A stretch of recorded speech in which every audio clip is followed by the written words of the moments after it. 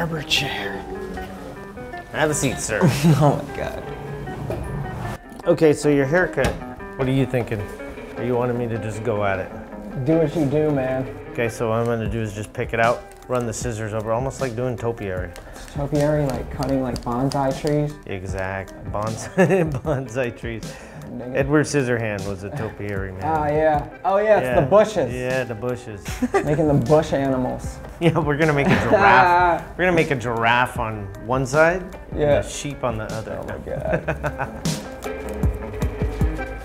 I'd never shy away from any hair. I just delve right in and see what, what comes of it. And you gotta be able to do a bunch of different stuff or else they'll die off like the barbers did in the 80s. What's in a dopp kit? yeah, yeah, yeah. Well, you definitely want a pre-shave cream. Then you're gonna wanna have a shave cream.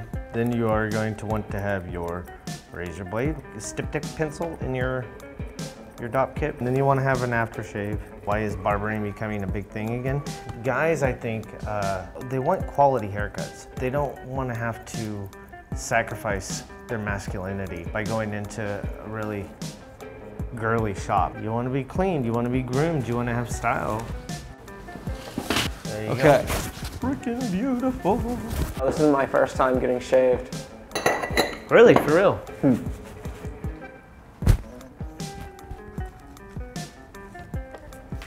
I've tried shaving myself with a straight razor before. I cut myself up, man. and the first thing I thought of when I saw shaving cream and blood was strawberry shortcake. And, All right, uh, all right. Can't make me crack up while while uh, shaving you, all right? Or else I'll slit your throat on accident. oh my god. If you feel something funny touching your leg, don't worry, it's just me. How's that feel? It feels awesome. All right, cool. You just learn about life, right? In the barbershop. You can talk about just silly ass stuff and let loose and let your hair down a little bit. The barbershop's also a place where you can, they traditionally were places where men went to socialize with each other to get away from the, uh, the household for a while.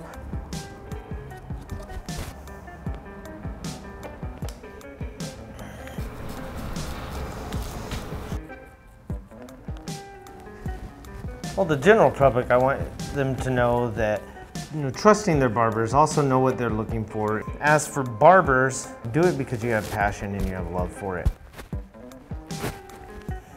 Feeling like a changed man. This is great. Oh, thank you. How's that hair? Thank you, Shorty. It's excellent.